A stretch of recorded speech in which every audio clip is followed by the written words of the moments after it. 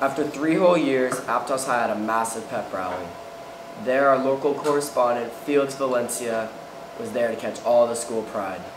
I'm really excited about the students all getting together, mm-hmm. and some of the juniors haven't been to a pep rally yet, so that's mm-hmm. really exciting, and mm-hmm. just showing all school spirit and just positivity. Yeah. Alrighty, just getting all together and hyping. Okay. Yeah. Here is our ASB president, Deanna Luis, pumping up the crowd. All of our hard work put into action. Aptos High's leadership team organized many different activities such as Sharks and Minnows seen here.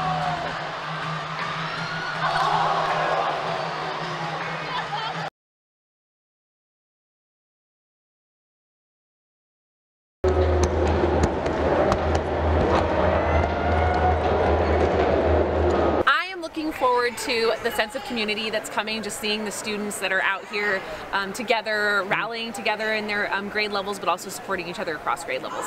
Alright. Aptos High's dance team presented an awesome performance and wowed the crowd.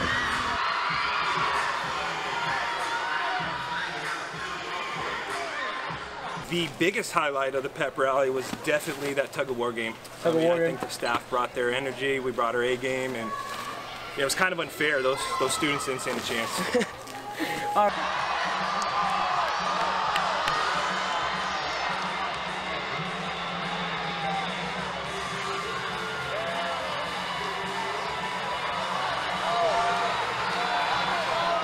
Seeing all my students perform, that was amazing. But to be honest, it was when we beat everyone else um, in tug of war, teachers.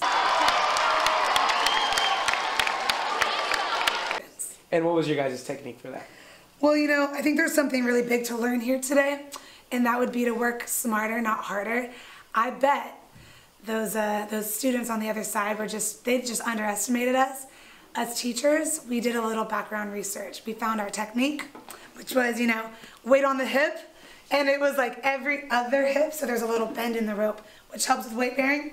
And we moved as a team, like we were like Viking soldiers, and we were like moving at once. Overall, everyone had a great time at the first pep rally at Aptos High in two years.